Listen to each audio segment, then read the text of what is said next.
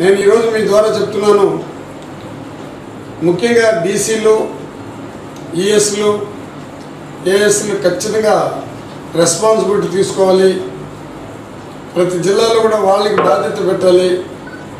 కలెక్టర్లు కూడా మేము అంత మనం లెటర్లు కూడా పెట్టినాము. ఒక జిల్లా నుంచి చెప్పినప్పుడు ఏ ఏ విధంగా జరిగిందో నేను క్లియర్గా మీకు చెప్తాను. ముందు మా సిఎస్ గారు కూడా దీనిపైన స్పందించి మాట్లాడాలి. ఎందుకంటే ఆఫీసులు సక్కరగా లేనప్పుడు మనం ఎన్ని నిర్ణయాలు తీసుకున్నా కానీ మనం సరిగ్గా చేయలేకపోతున్నాము.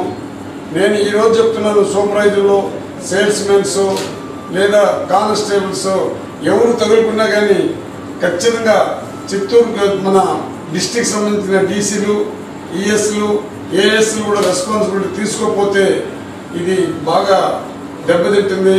మనం ఇంత కార్యక్రమాలు చేస్తూ ఉన్నాము మీకు ఇబ్బంది లేని పరిస్థితిలో కూడా ఉన్నాము. ఈ సమాజాన్ని బాగుపరచండి.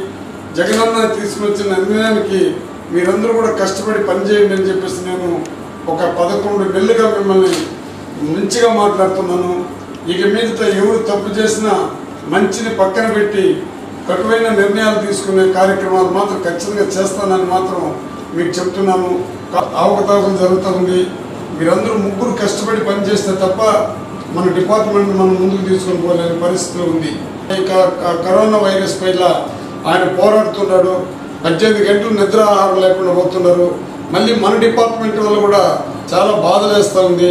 మీరందరూ కటుగా నిర్ణయాలు తీసుకోవాల్సిందిగా మిమ్మల్ని కోరుతున్నాను. మరి తిరుపతి కొన్ని కొన్ని జిల్లాలో వస్తున్నది ఈ గుంటూరు తిరుపతి నెల్లూరు అనంతపురం ఈ ఈస్ట్ గోదావరి వెస్ట్ గోదావరి ఇవి ఎట్లా ఉండదంటే ఎవరి కంట్రోల్లో లేని పరిస్థితుల్లో తీసుకుని పడుతున్నారు పెడుతున్నారు మీరు.